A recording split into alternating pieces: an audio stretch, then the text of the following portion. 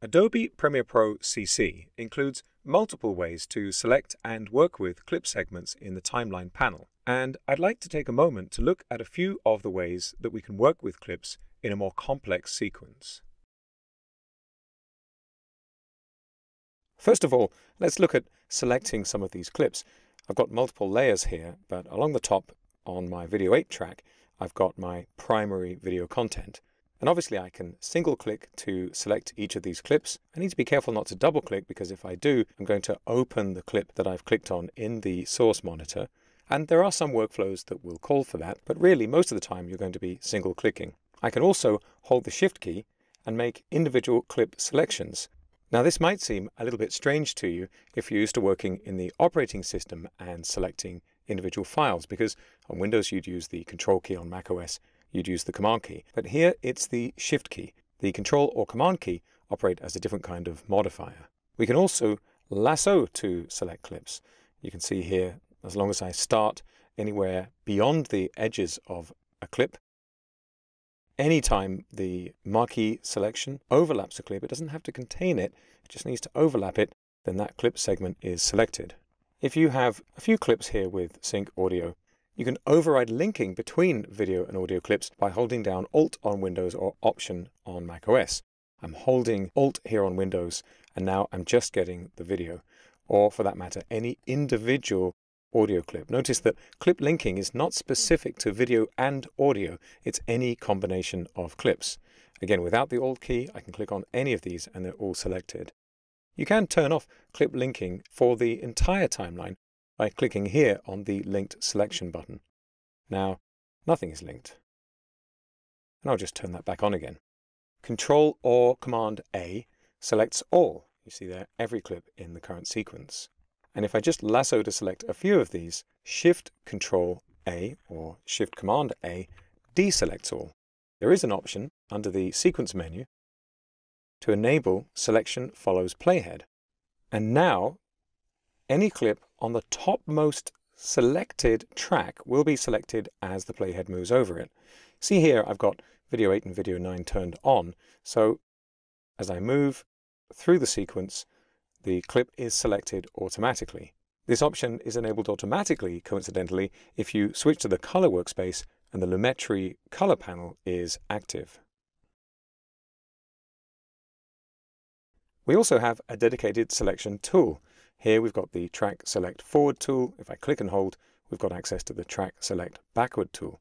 I'll start with the forward tool, and you can see I've got two arrows.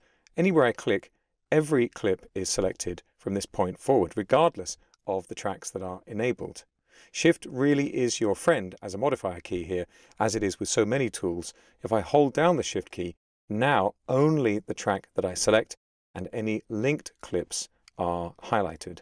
As you might have guessed, the Track Select Backward tool works in the opposite direction. And these are both very useful tools for creating a gap in a sequence, or for that matter, closing a gap if you're working with it in sections. I'm going to lasso a few of the clips here because there's another useful keyboard shortcut. If I press the forward slash key, Premiere Pro will add an in and out mark at the beginning and the end of any selected clips. It's important to make a distinction here between the forward slash key and the backslash key. The backslash key will toggle between zooming in and zooming out on your timeline. It's a really useful way to just get an overview of the whole sequence so you can navigate to a different part of the content. It's worth noting that clip selection overrides track selection in many cases. Here, for example, if I deselect, and I'm going to turn on all of the tracks here on every single layer and I'm going to press Control K, this would be Command K on Mac OS. And you can see if I move my playhead out of the way, I've added a cut to every one of these clips. Let me just zoom in a little so you can see that more clearly.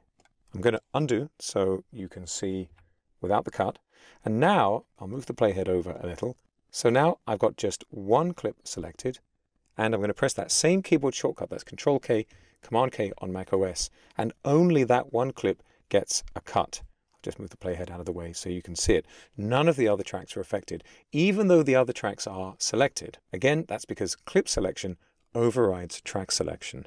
This applies when copying and pasting between in and out marks as well. Just the clips that you have selected will be copied. If I select this voice spot audio clip and hit delete, you can see, well, nothing much happens. The clip's been removed and nothing happens to the other clips in this very simple sequence. I'm going to undo to restore that. If I select the clip again and press Shift Delete, now I've performed a ripple delete, closing the gap after the clip I've removed. All of the clips have moved because my sync locks are on for every track. Of course, if I turn some of these off, not all of the clips will be affected by that edit.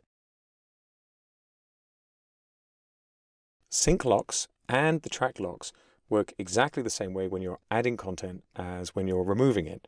So I'm going to just resize a little bit here. I'm going to collapse down these tracks, collapse down these audio tracks as well. So you can see a little bit more about what's going on. I've got this long dialogue mix down at the bottom. And I'm going to select, I think this combination of clips right here. I'm just lassoing across to make sure I've got all of those clips selected.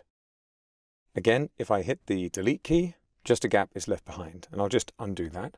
And if I shift delete to ripple delete those clips, let's select these again, I'm actually being blocked. Premiere Pro won't allow me to delete these clips, and that's because I've got these sync locks on. The sync locks are locking my content in position relative to the other clips. If I turn these all off, which I'm going to do by holding down the Shift key here, and now press Shift Delete, Premiere Pro allows me to remove the clips and everything after them shuffles over to the left to fill the gap. When moving items around inside a sequence, by default you're going to have snapping turned on.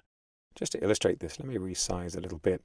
And let's say I want to make a layered clip effect from this shot over this one.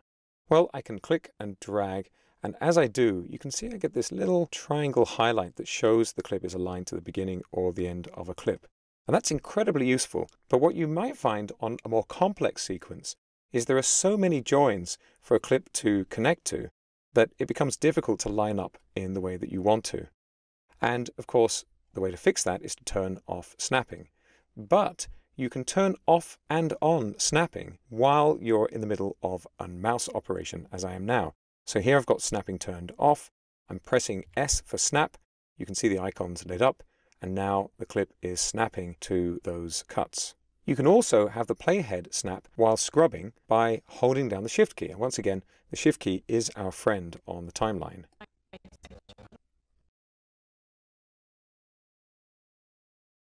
And let's say I want to make a precise selection of a piece of these three clips, so I can copy it and paste it somewhere else. Well, I'm going to hold down the shift key to turn all my sync locks back on. It's probably worth having these on most of the time. And still holding the shift key, I'm going to deselect all of these tracks. And I'm just going to turn on the tracks that have this media.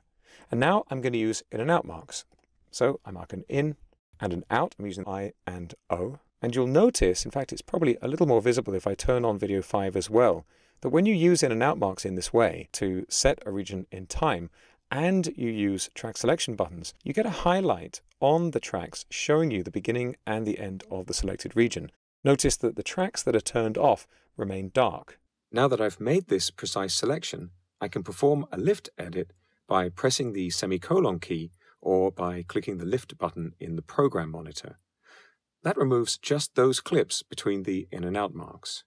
Now in this case, I've made a careful selection not by clicking on clip segments and selecting them, but instead by highlighting them with in and out marks. I'll just undo so you can see that region as well. Notice the top clip is selected, the other two are not. So in the timeline panel, you can make a selection by choosing clip segments, or you can select a region of time with in and out marks based on specific tracks. There's another really useful feature I'd like to show you on the timeline for removing gaps that are unwanted. Now this feature is dependent very much on your selections. You can see here I've got a series of clips lined up and these are later in my sequence where as you can see if I scroll I don't have any long clips underneath or above them so I don't have any issues with sync locks. And it's a very common way to work on a sequence to get to the point where you have a number of clips lined up in this way. Maybe you've gone through the edit and removed the pieces that you don't want, but then what do you do with these gaps? Well, one way is to select the gap. I'm single clicking here and press delete, and that will close one gap. I'll just undo that. But another way is to use the close gap command. In this case, I'm going to just lasso to select these two clips, and I'm going to go to the sequence menu and I'm going to choose Close Gap. And that'll close the gap between those two clips. Close Gap doesn't have a keyboard shortcut by default, but it's very easy for you to assign one. And what's great about the command is if I want to, I can select a whole range of clips as I have now, go back to the sequence menu, choose close gap, and all of those gaps are removed in a single step. I'll just undo that because another way to do this is to use in and out marks. So I'm pressing I for in and O for out. And now if I choose close gap, all of the gaps between those in and out marks are selected. This way you can select a whole region of your sequence to remove gaps from. So that's working with clip segments in the timeline panel in Adobe Premiere Pro CC.